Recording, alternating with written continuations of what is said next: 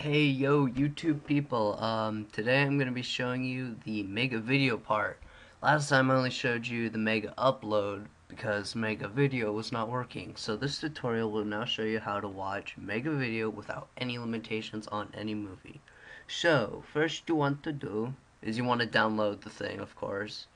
It is uh, Illuminax, and this will be in the video description also.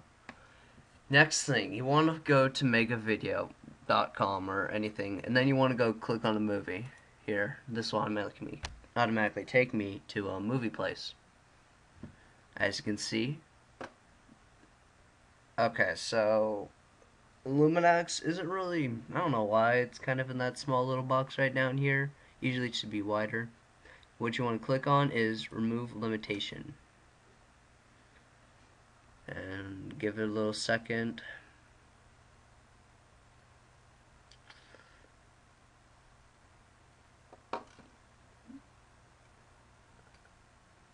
And this should pop up. This is a new screen.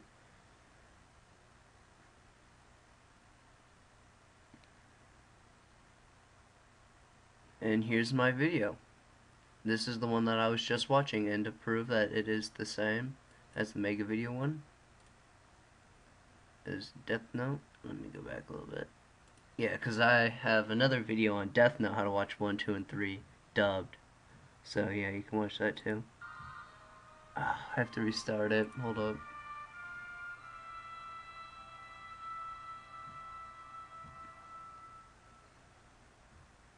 Sorry, I'm currently busying Overlord Part 5.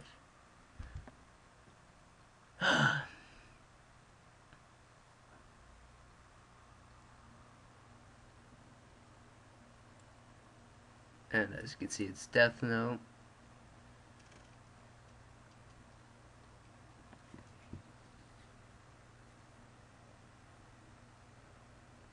Mega Video. Don't want the new pop-up. Play. Oh my god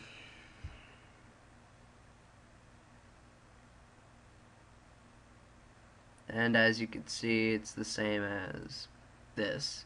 And this one has no limitation. You just gotta let it load for a bit you know all that stuff. So uh yeah that's pretty much all you have to do. It's really simple. It works really good.